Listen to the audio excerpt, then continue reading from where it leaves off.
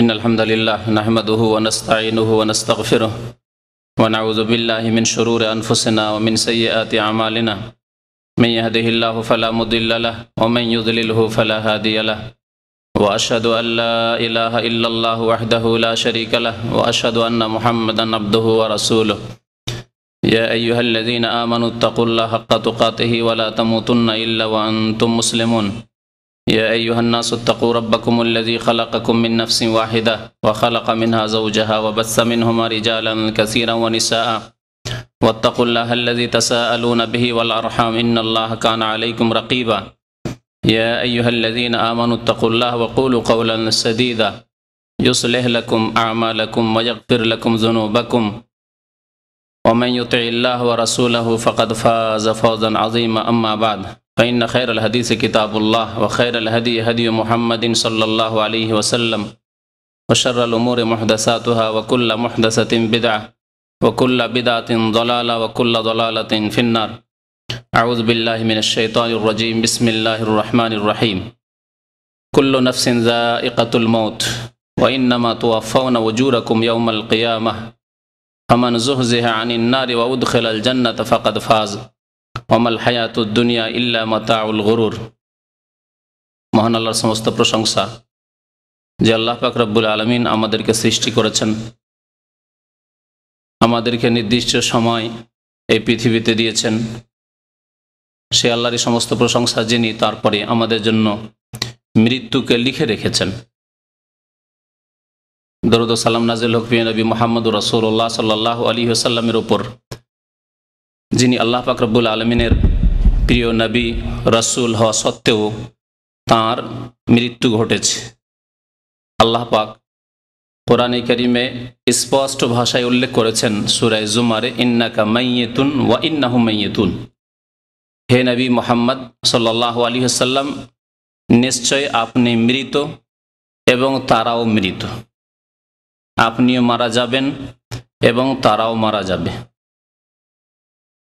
আল্লাহ ফাকরাবুল আলম পৃথিবীতে যত সৃষ্টি মখলুক সৃষ্টি করেছেন, সবার জন্য মত লিখে রেখেছেন। বা সব কিছুই ধ্বংসশীল। মানুষ হোক, জিন হোক, অন্যান্য প্রাণী হোক, সবার জন্য আল্লাহ ফাকরবুল আলম মত লিখে রেখেছেন। সব কিছুই পৃথিবী থেকে একদিন ধ্বংস হবে, এসেছে একদিন, চলে যাবে আরেকদিন। এ মত আজকের হচ্ছে বিষয়বস্তু।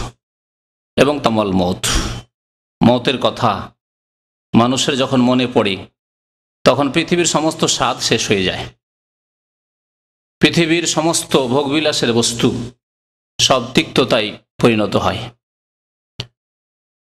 মত, এই মত সম্পর্কে নবী করিম সাল্লাহ আলী সাল্লাম বলেছেন হাজেমুল্লাজাত আকসেরু জিকরা হাজেমিল্লাজাত তোমরা বেশি বেশি স্মরণ করো পৃথিবীর সমস্ত রকমের স্বাদ ধ্বংসকারী বিষয়কে।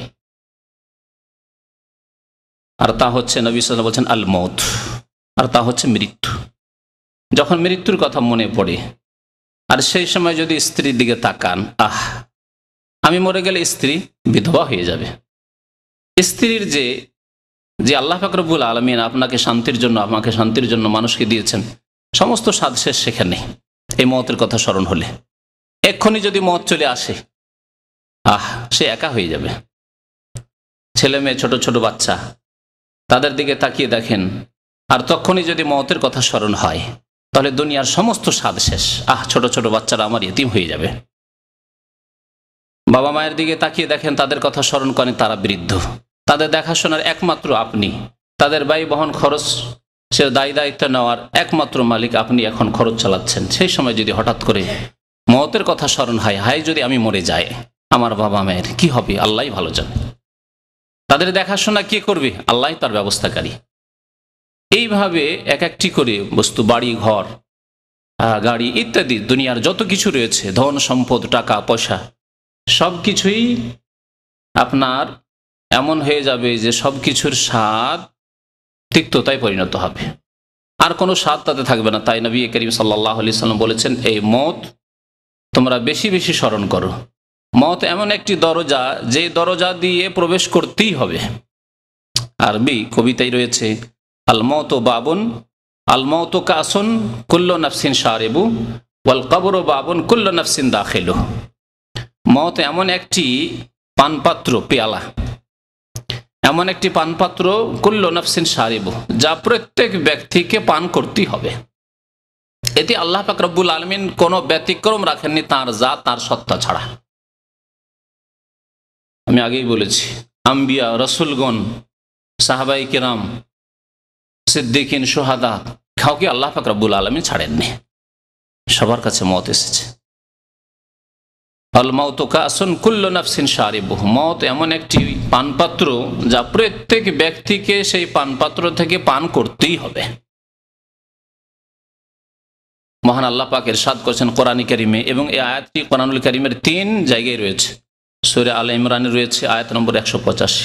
সুরে আম্বিয়াতে রয়েছে, সুরে আন কাবুতে রয়েছে। কুল্ল নাফসিন জায়কাতুল মত।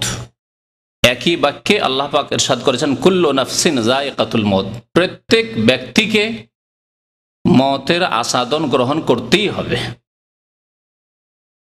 তারপরে একা একায়তরে সুম্মা এলেইনা তুর যাউন অতপর মতের পরে কি হবে? মরতে হবে এ কথা মুসলিম, অমুসলিম। আল্লাহর বন্ধু, আল্লাহর শত্রু। আল্লাহর দিনের বন্ধু, আল্লাহর দিনের শত্রু। নামাজি, বেনামাজি। হ্যাঁ। আস্তিক, নাস্তিক, মুশরেক মাহিদ তৌহিদবাদী, আল্লাহর একত্র বিশ্বাসী বা বহুত্ববাদী। সবাই বিশ্বাস করে যে মরতেই হবে। মরতেই হবে।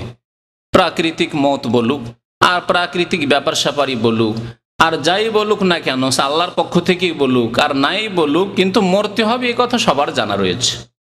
কিন্তু মরণের পরে, মতের পরে কি হবে? এ কথা একমাত্র জানে এবং বিশ্বাস করে মমিন। সেই হচ্ছে মমিন।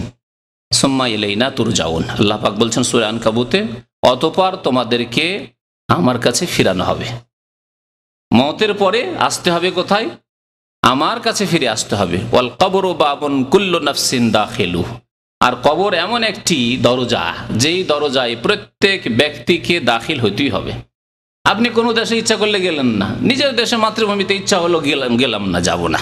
এটা সম্ভব। কিন্তু মত এমন একটি পানপাত্র সেটা পান করতে হবে, সেখানে এসে ঘাটে আপনাকে নামতেই হবে। এই ঘাট এমন একটি ঘাট যে ঘাটে আপনাকে নামতেই হবে।